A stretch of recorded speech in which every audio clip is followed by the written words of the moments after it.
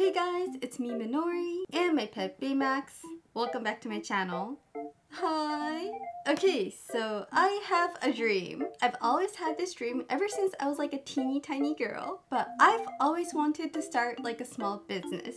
I've always wanted to like sell my craft works and artworks online. However, it really never happened because it's really not that easy. Or so I thought. Recently, I've been watching a lot of TikTok videos and I noticed that a lot of people have been starting a small business online. I know, I'm inspired by TikTok. I'm just so into watching all of those like crafting videos and I just couldn't help but try it myself. So today I'm going to try out all these TikTok inspired crafting ideas and if I like how they turn out, I'm going to sell them on Etsy. But um, I've never done any of these techniques before so hopefully they turn out okay. So anyways, without further ado, let's just jump right in. I'm going to start a small business.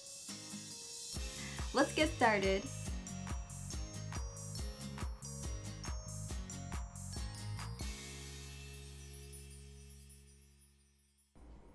Oh, by the way, it took me a few days to shoot this video, so don't mind my clothes changing here and there. Oh my gosh, guys, I'm so excited. So first off, I'm going to try out making some phone cases. So today, I'm going to be customizing these phone cases.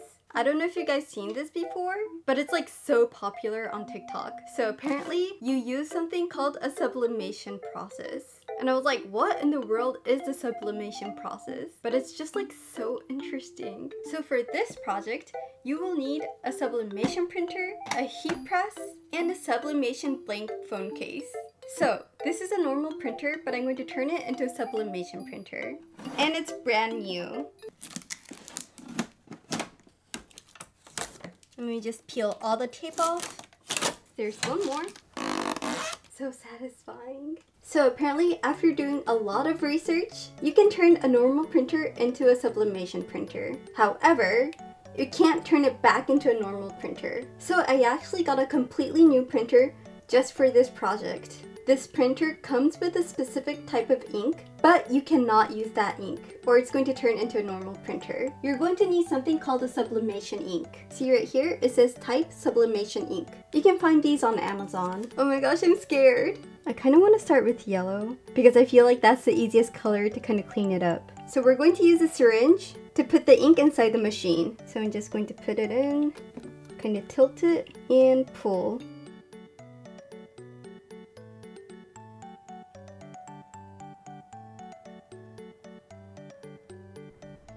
So you're going to need to repeat this process for all the colors.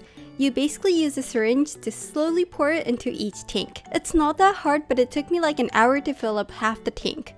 The syringe can only suck up like a few millimeters and it just takes a while. I also took my time since you cannot mess this part up. Once you put the wrong color into the wrong tank, it just messes everything up. And I think we're done. I'm going to clean it up a little bit. And I also got a lot of ink splatters all over the table, so I guess it's something to keep in mind. Don't wear your favorite clothes when you're doing this project.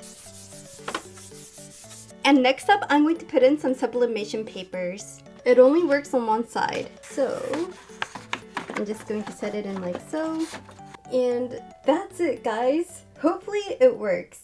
Okay, next up, I'm going to need a design for my phone case. And because this is like a sample, it's my first time doing it, so I'm just going to quickly make a design using my old drawings. Oh, by the way, I ended up changing the background because I wanted to keep it simple.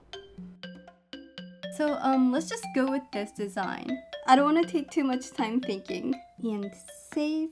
And now step 3. Print out the design using the sublimation printer.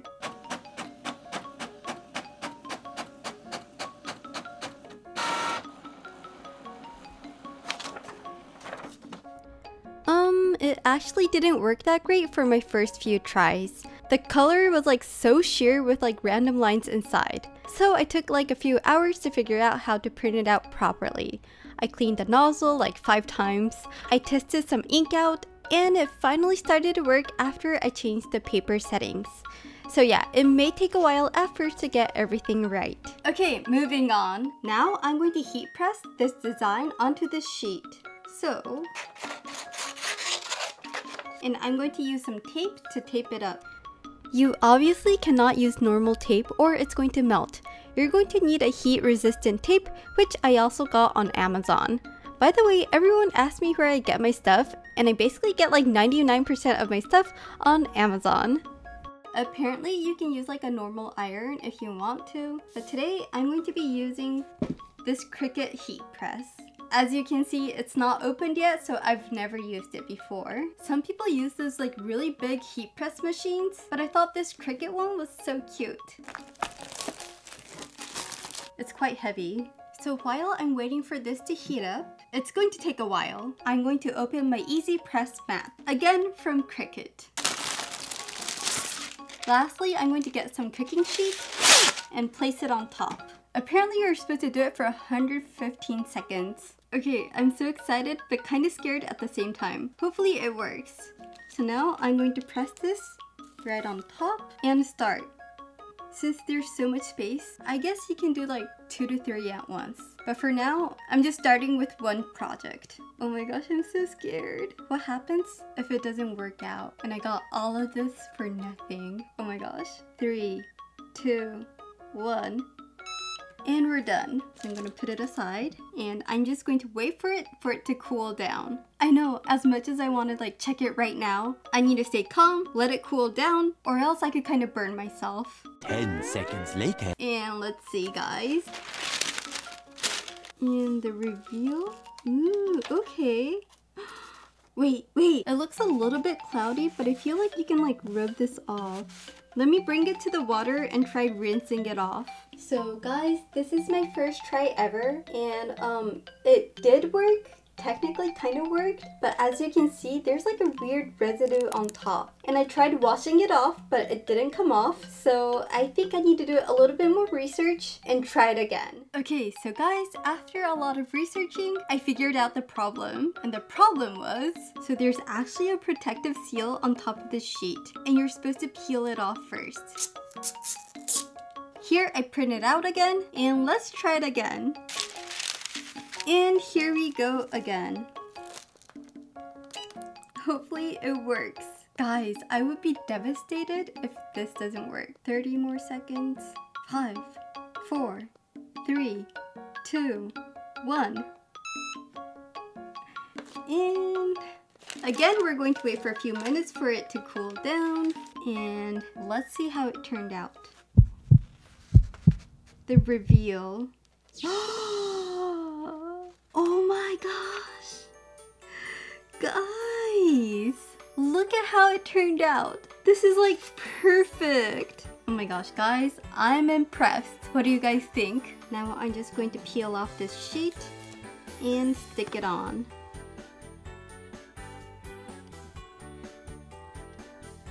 And there we have it, our completely original phone case. I'm so in love. The color is so vibrant as well. And I'm just like super impressed. Okay, so now that I know that it works, I want to make a few more designs and kind of play around with it. So here we go.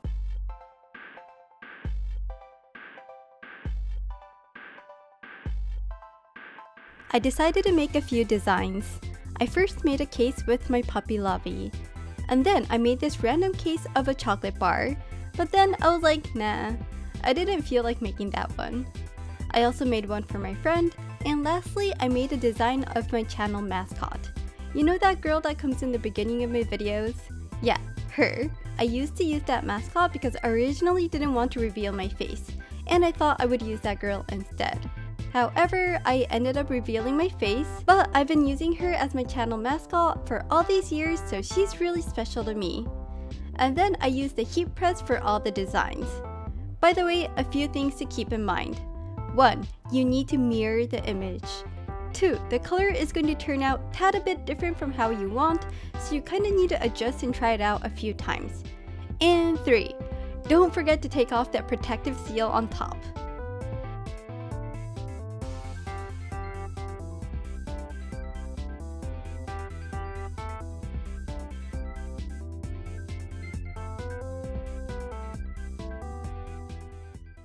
So I made four new cases. Let's see how it turned out. I forgot to take off the protective seal for this one. No. Like, it's okay. There's always a learning curve, and you will always mess up like a hundred times when you start something new. So yeah, um, I am sad. It did go to waste, but yeah, it happens. Next up, okay, yes. This one I think turned out to be a success. The next one is, um, okay, yeah, it turned out really nice. But it's actually for a friend. It's not mine. So I know the design is kind of random, but still, I think it turned out really nice. It's really saturated. The color's so pretty. And one more. The reveal. okay, yes. Same design, different color. I just want to see how it's going to turn out. And for this one, I'm going to put it on a black case. So far so good. And let me quickly remake my Lovey one one last time.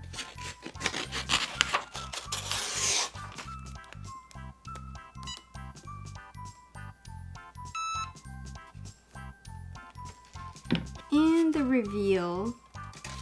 I have to say it's a little bit off-centered, but still I really really like how it turned out. So after like a whole day of crafting, this is what I made and I'm just in love with all of them. Okay, moving on. Okay, now that we have a sublimation printer, we can now decorate almost anything. Well, maybe not like everything, but you can now use the sublimation process on like fabric, like t-shirt, masks, tote bag, you know, any kind of fabric. You can decorate towels, you can decorate floor mats. You know, there's a lot of things you can make. So next up, I'm going to try sublimating a mask. Again, I printed out using this printer and now I'm just going to line it up, place, make sure I get all the edges, tape it up, and start. Three, two, one, and release. Let it cool down for a bit and the reveal. Ta-da! And oh my gosh, it worked so, so well. However, as you can see, I accidentally printed onto my mat. but like, look, look at how pretty it turned out. And yes, it's washable. So, oh my gosh, I'm so, so excited. Okay, I'm going to flip it over and do the other side. And this time, I'm going to use a cooking sheet on both sides. Three, two, one, and release. And the reveal.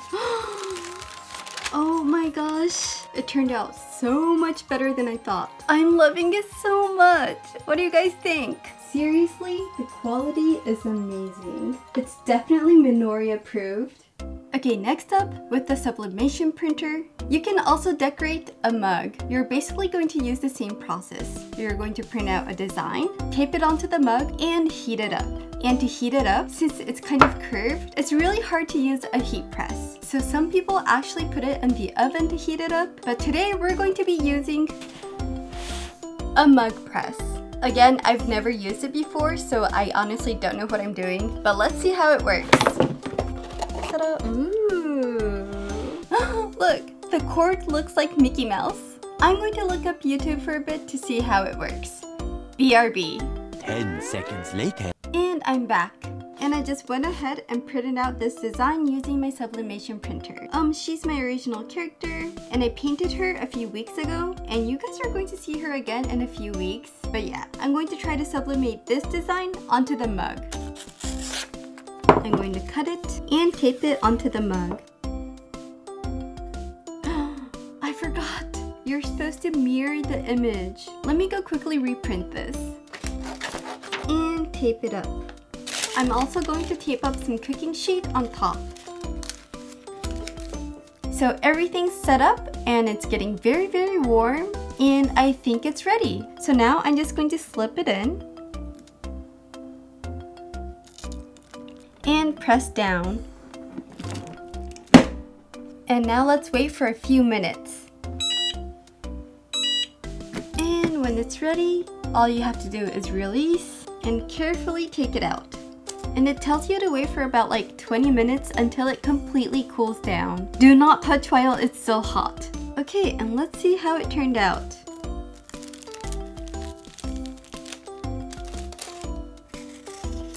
Okay, I think I did it a little bit wrong. I think I messed up with the heat settings. This is how it turned out. It still kinda worked, but it's not there. But you know what? It's actually still really, really cute. You know what? I think I like it even more than how it should have turned out. Because honestly, this fade is giving me the vibes.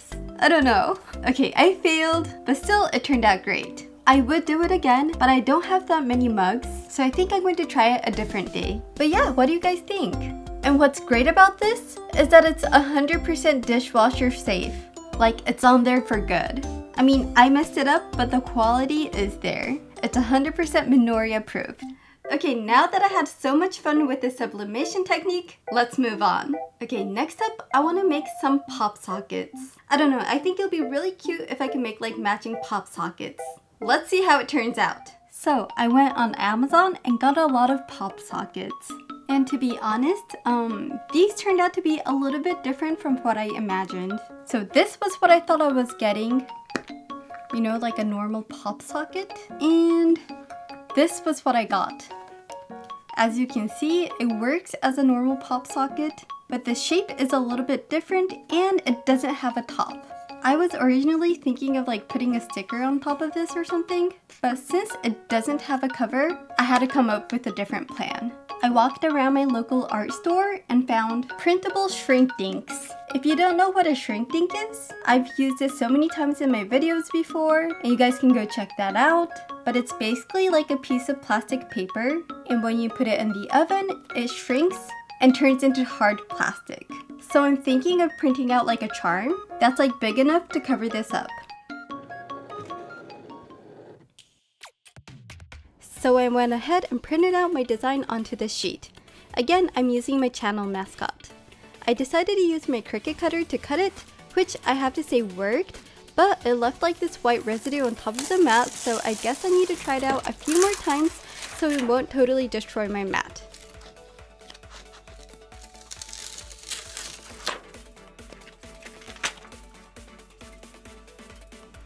After I was done cutting, I went to the oven to shrink it into plastic. And I just love looking at this process. It's so mesmerizing.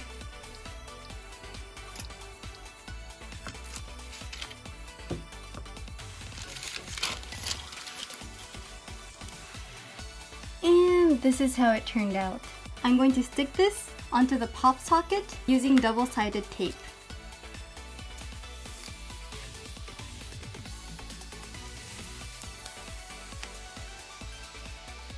And there we have it, our very own pop socket.